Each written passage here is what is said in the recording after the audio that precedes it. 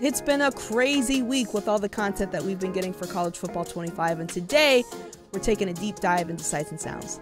Let's get into it.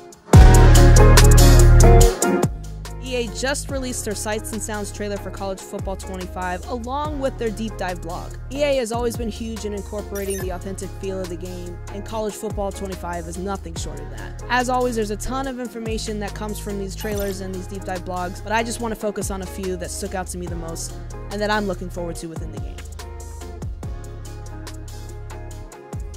So the first one on that list is going to be the turnover traditions, the new era. Not only do we have the classic school traditions in the game, but the new era of traditions including turnover and touchdown props made it into the game as well. All these actions take place during gameplay and examples of what you might see are chainsaws, championship belts, basketball hoops, and even a throne. A throne, yes. That's kind of crazy that we're actually going to see a chainsaw in the game. I know this was sort of a big deal when the University of Miami came out with the turnover chain. You started to see a lot of other teams sort of come up with their prop. I think at one point, Florida State had like a secure the bag and it was like a Louis Vuitton bag. So that's awesome that we're going to see that in the game.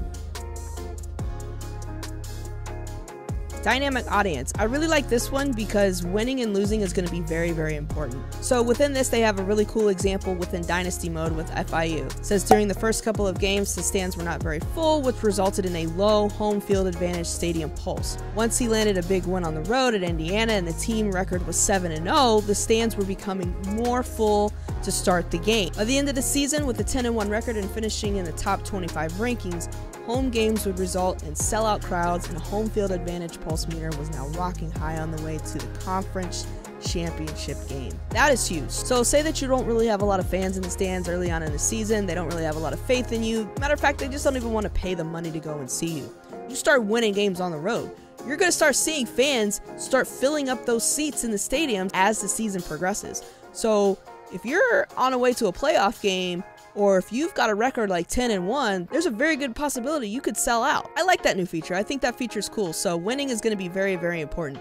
If you don't have a very good football team and you're constantly losing, chances are that stadium is going to be pretty empty. So I think this last one here, out of the ones that I really liked the most, were Pip and Game Flow. Presentation is not just about visuals and audio, but how the game flows and feels from play to play. We have built a whole new look and feel to the game that takes our authentic atmosphere and pageantry wrapped into our new streamlined Pip dynamic play calling experience. We tested dozens of layout variations throughout the year until we hit the right one. In this new streamlined experience, you won't miss a beat of action. You'll be informed on important information pertaining to the situation in game. Once the play is finished, the screen screen shrinks to the top left corner as replays and pageantry continues to show.